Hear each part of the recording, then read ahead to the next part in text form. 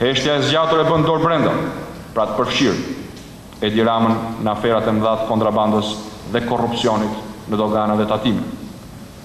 Që tani, pa qenë e nevojshme të presim prokurorinë, duket qartë se kontrata e tij me Crown Agents është një dështim që kundërmon erë korrupsioni. Pas deklaratës që kryetari i Partisë Demokratike Lulzim Basha bëri një ditë më parë në mbledhjen e grupit parlamentar, ka reaguar ambasada britanike.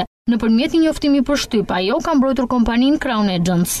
Çdo provë për korrupsion e kryer nga një kompani britanike duhet të sillet në vëmendjen e policisë britanike, qoftë drejtpërdrejt, qoftë përmes kësaj ambasade. Crown Agents është një kompani e respektuar britanike, e cila ka qenë më parë një agjenci e qeverisë britanike dhe shumë nga stafi i saj Janë ish zyrtarë të qeverisë. Një prej ministrave në qeverinë e tanishme është pjesë e bordit menaxhues të Crown Agents. Theksohet në njoftimin e ambasadës britanike. Ajo i ka kërkuar Partisë Demokratike që të faktojë akuzat ose në të kundërt të tërhiqet prej tyre.